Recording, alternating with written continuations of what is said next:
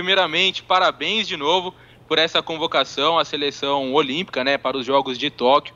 No dia 8 você se apresenta juntamente ao restante aí dos convocados. Queria que você falasse sobre esta convocação em si, Claudinho, o que ela representa para você, para a cidade acaba representando muito, né? Porque desde 2019, e como eu te disse, lembro lá em 2019, numa entrevista, a gente já falava sobre uma expectativa da sua convocação para a seleção brasileira e ela se concretiza agora em 2021. O quanto é importante para você, para sua família, para a consolidação da sua carreira. Você que em 2016 jogou aqui no Bragantino e depois acabou rodando, rodando até voltar com a Red Bull. Então, parabéns pela convocação e queria que você falasse um pouco sobre isso.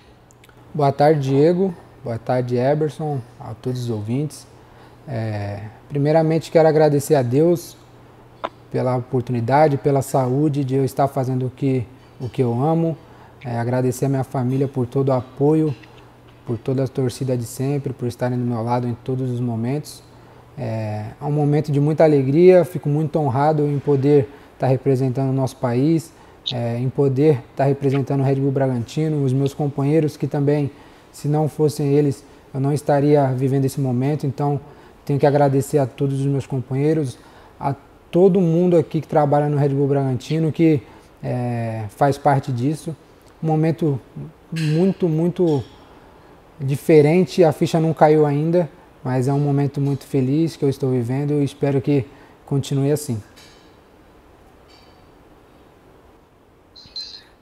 Claudinho, boa tarde. É o Sérgio Loredo, Nova Norte FM Futebol Total. Parabéns, tá? Primeiro, antes de mais nada, porque que alegria é, em saber que você vai estar vestindo a camisa brasileira em busca novamente de uma medalha, uma medalha de ouro né, que a gente fica na torcida. O Bragantino, que já teve jogadores na seleção na década de 90, tem você agora como representante do clube, acho que isso é legal demais. E queria que você falasse, é, você falou do sentimento, de toda essa emoção, quando voltar no passado, você vê aquele Claudinho né, começando, a última semana você vivendo a realidade que era estar lá na Sérvia com esse grupo também. O que representa tudo isso? Qual a dimensão e, e daí para o Claudinho, que esteve na seleção e que vai ter ainda alguns jogos com a camisa do Red Bull Bragantino, você vai dar mais ainda nesses jogos do Braga no Brasileirão? É, como que vai ser? E é claro que você está, é, acho que ansioso em poder viajar, chegar em Tóquio e vestir a amarelinha. Então, parabéns, tá bom, Claudinho? Boa tarde, Loredo. Obrigado pela pergunta. É, como eu disse, é um momento muito, muito feliz, muito diferente na minha carreira. Eu que uns dois anos e meio atrás estava desacreditado, esse sonho tinha, tinha morrido um pouco dentro de mim porque não estava vivendo um bom momento no futebol, então você acaba desacreditando um pouco das coisas, mas como eu falei, Deus, Deus em primeiro lugar me deu, me deu força, minha família também, minha mãe sempre ali do meu lado me apoiando, me dando forças. É, fico muito feliz de estar realizando esse sonho, não só meu, mas da minha família. E com certeza esses, esses últimos jogos, antes de se apresentar na seleção, eu vou dar o meu melhor, como eu sempre fiz. É, vou, vou ajudar a minha equipe da melhor forma possível para sair vitorioso em todos os jogos. Claudinho, Bruno Crespo, Rádio Alfamix, parabéns pela, pela convocação aí. Você está realizando um sonho em disputar uma Olimpíada. Próximo sonho agora é voltar com a medalha de ouro e quem sabe disputar uma Copa do Mundo aí, fazer uma grande Olimpíada. O Tite convocar você para a Copa do Mundo de 2022. E se você me permite, o quanto é importante o técnico Maurício Barbieri nessa sua carreira aí, ele que chegou e deu a faixa de capitão e você está voando na mão dele ganhou vários prêmios no Campeonato Brasileiro da temporada passada. Parabéns, viu, Claudinho? Valeu, Crespo, obrigado. É... Cara, falando do Maurício, primeiramente, só tenho que agradecer, como já agradeci aqui aos meus companheiros, mas também agradecer a toda a comissão, todo o staff, o Maurício principalmente por estar ali me dando total confiança, é, sendo um jogador importante, uma peça-chave na, na, na, na formação tática dele ali. Então fico muito feliz de ser esse cara de confiança dele, um cara que quando chegou ele e a comissão me deu total confiança para eu desenvolver o melhor, meu melhor. Então espero estar podendo é, ajudar ele e continuar ajudando até até onde eu puder. É, agradecer muito de verdade pelas oportunidades que ele me deu. Rodrigo Seixas, Correia de Atibaia. Ah, outra sobre a Copa do Mundo, né? É, sim, é um sonho, também é um sonho. É, tem esse sonho comigo de, de ir lá na Olimpíada agora, defender esse ouro olímpico. Se Deus quiser, vamos fazer de tudo para ser campeão e acabar. Eu acho que quando tem um, um, destaque coletivo, o destaque individual acaba aparecendo. Então, espero que, que eu possa realizar esse meu sonho também de, se Deus quiser, para uma Copa do Mundo. Agora sim, Rodrigo Seixas, Correia de Atibaia. É, parabéns pela convocação. Eu queria que você comentasse sobre seu encaixe no time, né? Você já fez dois jogos e foi bem nas duas partidas, conseguiu fazer boas jogadas, passes, teve algumas chances de gol. Eu queria que você falasse sobre o que o Jardine pediu para você fazer e como tem sido essas duas partidas e agora a sequência que você vai ter com a Olimpíada. Boa tarde. É, acho que eu fiz quase o, o, mesmo papel que, que eu faço aqui no Red Bull Bragantino. É, o Jardine me deixou muito, muito à vontade em campo, como eu costumo ficar aqui no Red Bull Bragantino. Então foi bem, bem fácil se adaptar ali também com grandes craques. Então acho que mudou. Acho que o que mais mudou ali foi o lado de jogar, que eu comecei a jogar pelo lado direito mas também não, não diferencia em nada. Estou ali para ajudar da melhor forma possível. Se for para jogar aberto, se for para jogar pelo meio, se for para jogar em qualquer posição que ele acha que eu vou ajudar, eu estou ali para ajudar. Então acho que é isso. É, Claudinho, é o Danilo do GE. Primeiro, parabéns aí pela convocação. É, o Brasil vai para essas Olimpíadas, né, com, com a missão aí de defender o ouro olímpico. Como que está isso, essa isso lá dentro da seleção? Qual que é a conversa que o pessoal tem com vocês sobre isso? Como que você enxerga essa missão, né, de defender o ouro? Boa tarde. É... Olha, foi minha primeira convocação, acabei ficando poucos dias assim, acho que foram 10 dias, se eu não me engano, mas foram 10 dias especiais para mim, na minha vida. É... A expectativa e a confiança é de, de ir fazer o nosso melhor, de ser campeão, sim. Eu acho que quem é, coloca a camisa da seleção tem que sempre pensar em ser campeão, não pode pensar de outra maneira. Então ali todo, todo mundo está tá confiante, todo mundo querendo ir para lá para ser campeão. E a minha vontade não é diferente. Claudinho, parabéns pela convocação, Angelito da TV Bandeirantes pergunta é o seguinte: todo mundo já falou aí da sua expectativa, de como você vai atuar aqui para frente. A pergunta é o seguinte por parte do torcedor de Bragança Paulista. Como é que está a cabeça do Claudinho nesse momento? Mesmo porque ainda você ainda terá três, quatro, cinco partidas pelo Bragantino antes de viajar. Como que o, como que o Claudinho vai conciliar essa euforia, ansiedade de vestir já oficialmente a camisa da seleção brasileira e também agora ter os próximos compromissos. E o próximo é sábado contra o Flamengo. Boa tarde. É, eu acho que a ansiedade eu acho que fica mais fora do campo. Também quando vai sair a convocação, estava bastante ansioso, mas depois que sai a convocação, você vê que você está ali entre os 18, você vê que se concretizou o seu sonho você fica tranquilo e o que eu mais quero é poder entrar em campo e ajudar o Red Bull Bragantino da melhor forma possível, como eu sempre fiz. É, e agora não vai ser diferente, não é porque eu fui convocado que eu vou mudar alguma maneira, alguma coisa assim. A ansiedade, como eu falei, era um pouquinho antes da convocação, mas agora estou tranquilo. É, graças a Deus concretizou a convocação e vou entrar em campo para ajudar o Red Bull Bragantino da melhor forma possível. Claudinho Ana, do Bragança em Pauta, nós estamos ao vivo, né? Todo mundo falou aí da sua expectativa. A gente sabe para que para ser um craque, além de foco e de treino, também é preciso esse apoio da família. E muita gente hoje, muita criança se espelha no Claudinho. Então eu queria que você deixasse um recado para a criançada que gosta do Claudinho aí, o que fazer, né, para chegar aonde você chegou. Boa tarde, é, obrigado pela pergunta, pergunta diferente. É, olha, eu fico muito feliz de, de estar podendo é, ser visto como um espelho para as crianças. É, já fui assim também, já enxerguei é, meus ídolos assim como, como um espelho, queria ser eles. Eu acho que hoje em dia eu estou nesse papel.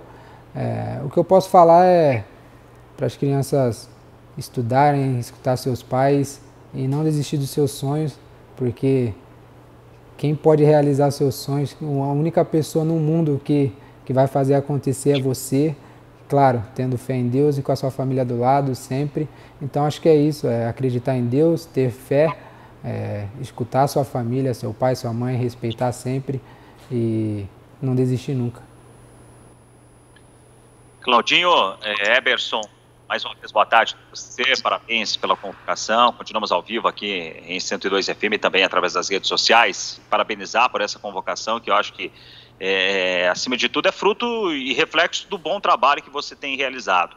O que a gente notou nesses últimos dias foram que muitos clubes acabaram é, entendendo que não seria viável liberar alguns jogadores. É, existe essa discussão na convocação do Pedro agora, o Flamengo dizendo que não vai liberar, o Pedro foi convocado mas aqui em nenhum momento o, a gente ouviu algo do Bragantino que o Bragantino não iria ou iria tomar uma medida nesse sentido. Queria que você falasse um pouco da sua relação com o Red Bull Bragantino, com a diretoria, como foi esse processo também desde que você foi convocado.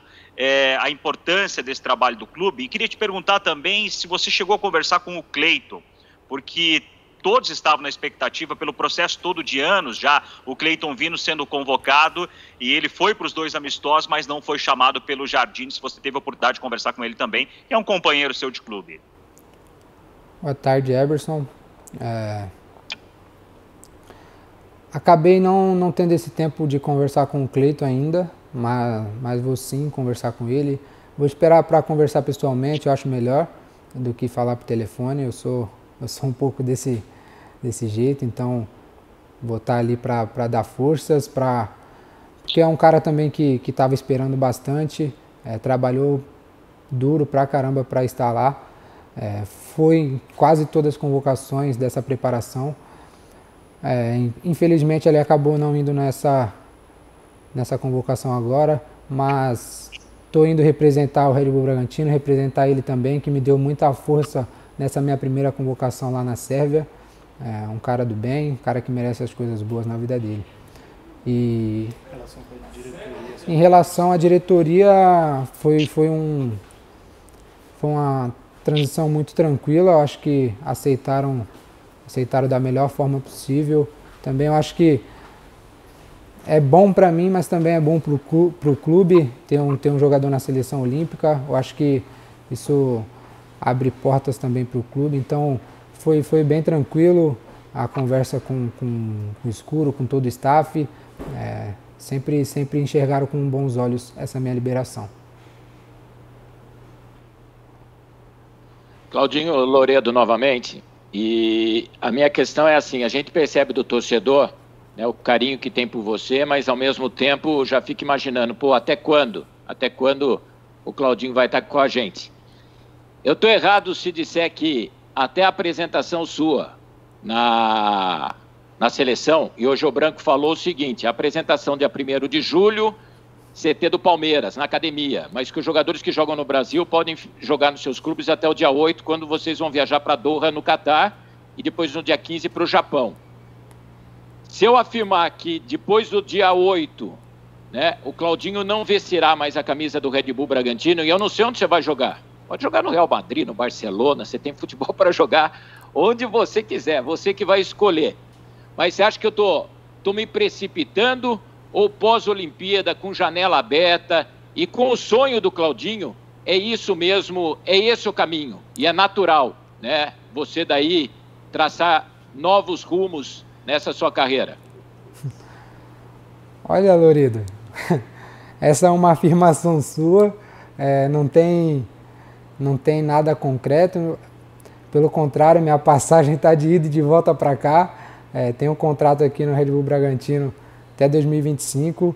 É, vou cumprir meu contrato até o momento certo que tiver que cumprir. Quando as coisas acontecerem, vocês irão ficar sabendo. Mas o que eu sei até agora é que eu vou e volto para cá. Não tem, não tem nada, não tem nenhuma negociação, não tem nada fechado. Então a minha ida e minha volta é aqui de Bragança. Fala Claudinho, Jorginho Alfamix FM, beleza? Claudinho, é o seguinte, minha pergunta é, a galera de Bragança Paulista, o torcedor bragantino, estava é, até eufórico aí na convocação do Tite aí para as eliminatórias.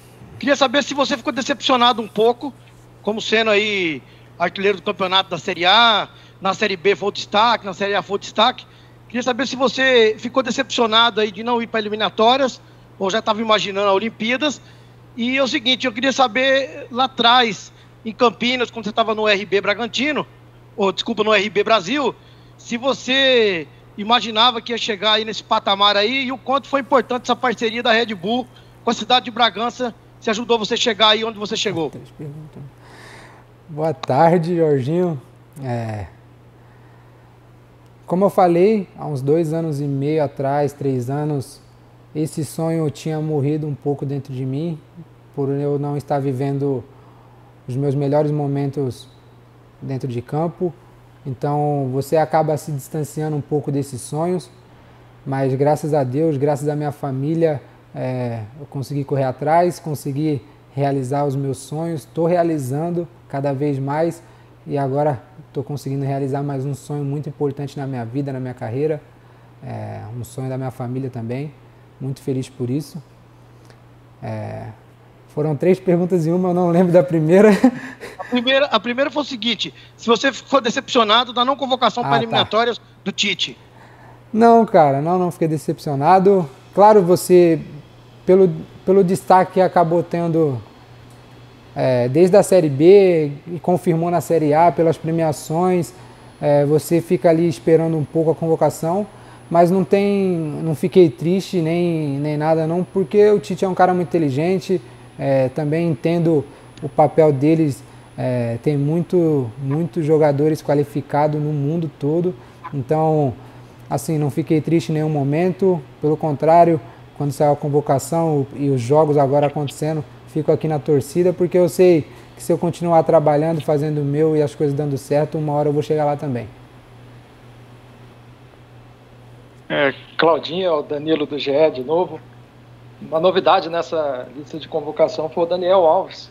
Queria que você falasse da importância dele para o grupo, né, na disputa dessas Olimpíadas, como você também é, prevê essa parceria ali com ele. Ele é um jogador que joga tanto na lateral como ali também no meio. Queria que você falasse um pouco da, do Daniel aí no grupo e, e como que você vê jogando ao lado dele. Boa tarde. É, Fiquei um pouco surpreso pela convocação dele, assim, não sabia que ele estava na lista, mas muito feliz por, por ter um cara desse calibre ali no nosso grupo.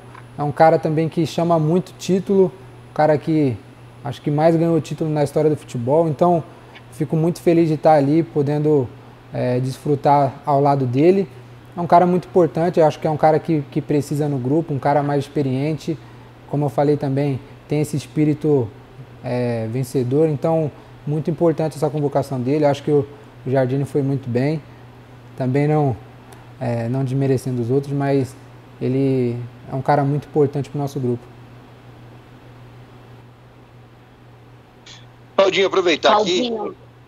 Então, é, queria saber de você qual a importância da empresa que está gerando o Bragantino, a Red Bull e o Bragantino, para você, Claudinho, uma vez que na Ponte Preta a gente sabe que lá parece que você não era tão valorizado, não era tão aproveitado. E de repente, aqui no Bragantino, você deu a volta por cima, tanto que despertou aí as atenções de novo é, do time campineiro. Qual a importância da empresa, do Bragantino, na vida do Claudinho, neste momento? Um momento que você veio de Campinas, meio que desacreditado pelos pontos pretanos, e chegou aqui em Bragança e ganhou essa oportunidade.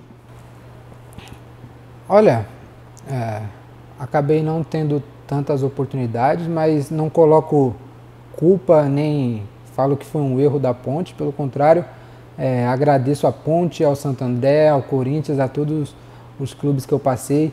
Eu acho que por onde eu passei pude aprender um pouco é, para estar vivendo o que eu estou vivendo agora. Então, é, agradeço a todos que por onde eu passei que me ajudaram.